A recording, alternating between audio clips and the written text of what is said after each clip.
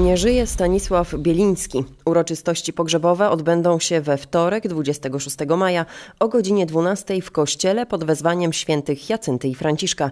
Były burmistrz Ostrudy, były prezes żeglugi Ostrucko-Elbląskiej, radny miejski obecnej kadencji, zmarł po ciężkiej chorobie. Miał 70 lat. 20, przepraszam, pani głosować. Za. 21. 21. Dziękuję bardzo.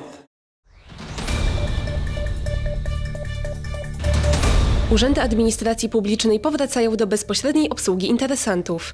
Jak czytamy w komunikacie Ministerstwa Spraw Wewnętrznych i Administracji, instytucje mają obowiązek wznowienia osobistych wizyt od 25 maja.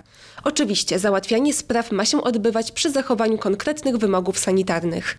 Dopuszczalna liczba interesantów przebywających w tym samym czasie w jednym pomieszczeniu nie może być większa niż jedna osoba na jedno stanowisko obsługi. W tym limicie nie zawierają się pracownicy obsługujący petentów.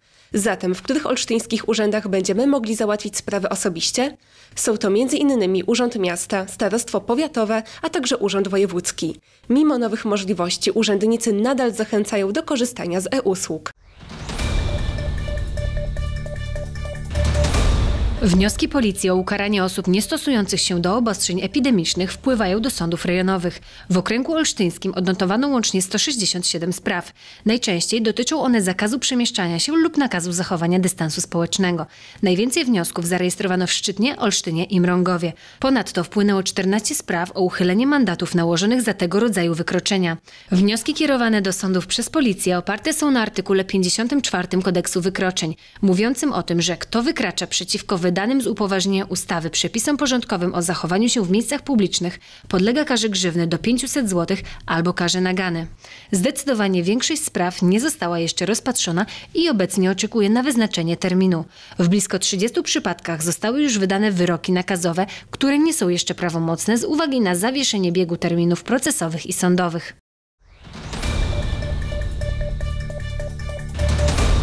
24. sesja Rady Gminy Ostruda dotyczyła zmian w budżecie oraz wieloletniej prognozy finansowej na lata 2018-2023.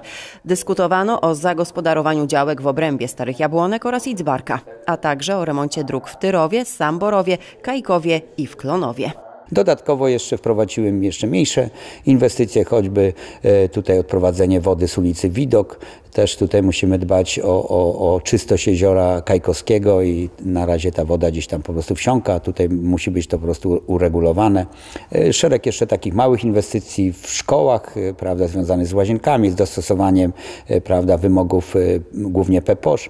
Dlatego bardzo taki w tym roku jest proinwestycyjny budżet i pomimo tego właśnie kryzysu nagle mamy wydatki majątkowe na poziomie 15 milionów złotych.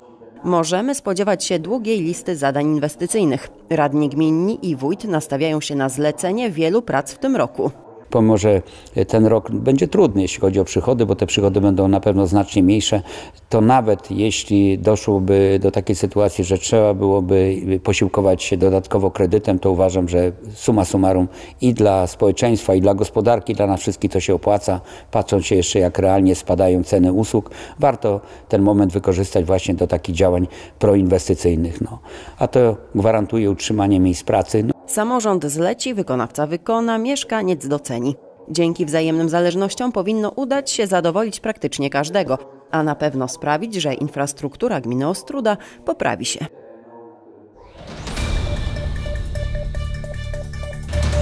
Stan epidemii wykorzystywany jest również przez oszustów. Były już metody na wnuczka, policjanta czy urzędnika. Kreatywność przestępców nie zna granic, a panująca sytuacja pokazuje, że nie ustają w swoich działaniach. Powstała nowa metoda na koronawirusa, bazująca na naiwności, zaufaniu oraz dobrym sercu starszych osób. Uważajmy na osoby, które wykorzystując epidemię koronawirusa oferują do sprzedaży cudowne specyfiki, które mają mieć właściwości zwalczające wirusa. Nieuczciwy sprzedawca może podszywać się przykład pod służby sanitarne czy Ministerstwo Zdrowia, oferując sprzedaż różnych produktów. Dlatego najważniejsza jest świadomość osób starszych, gdyż to one stają się głównym celem przestępców. Nie wpuszczajmy do mieszkań nieznanych nam osób, które pod pretekstem prowadzenia rzekomej e, dezynfekcji usiłują okraść lokatorów, wykorzystując do tego ich niepokój związany z zaistniałą sytuacją. O każdym podejrzanym przypadku należy niezwłocznie poinformować policję. Trzeba pamiętać, że aktualne, a przede wszystkim prawdziwe informacje związane z COVID-19 pochodzą z wiarygodnych źródeł. Jeżeli chcemy wiedzieć, jak się leczyć lub zapobiegać zarażeniu, korzystajmy tylko z oficjalnych źródeł, np. strony Ministerstwa Zdrowia czy Głównego Inspektoratu Sanitarnego. Żeby nie stać się ofiarą oszustów, należy uświadamiać swoich bliskich o istniejącym zagrożeniu. Dbajmy o osoby starsze, bo to one są głównym celem przestępców.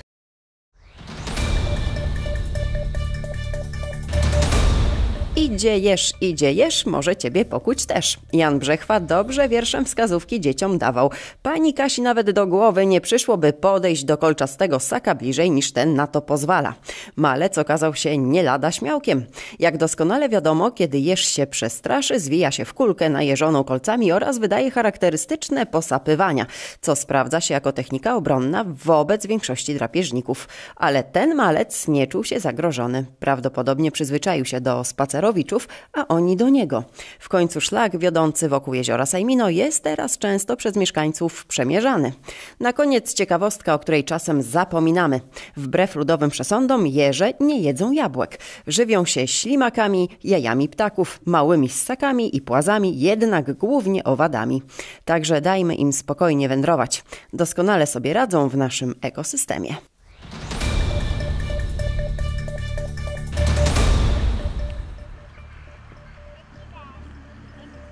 Kilkadziesiąt ton piasku zniknęło z plaży miejskiej. W związku z tym na teren Ceresukiel musiał wjechać ciężki sprzęt. By uzupełnić ubytki, wysypano tam już 50 ton piasku.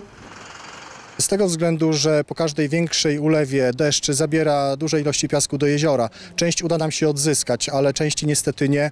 Odkrywają się obrzeża krawężnikowe, no i musimy niestety, ale uzupełniać ten piasek e, na bieżąco. Przeglądy techniczne i wszelkiego rodzaju prace są wykonywane bardziej intensywnie przed sezonem letnim. Dotyczy to m.in. właśnie Ceresukiel. Naprawiane są tam pomosty, kontrolowany jest również sprzęt pływający. Wszystko po to, by ten sezon mógł przebiegać bezpiecznie. OSIR przygotowuje się do otwarcia kąpielisk i wodnego placu zabaw.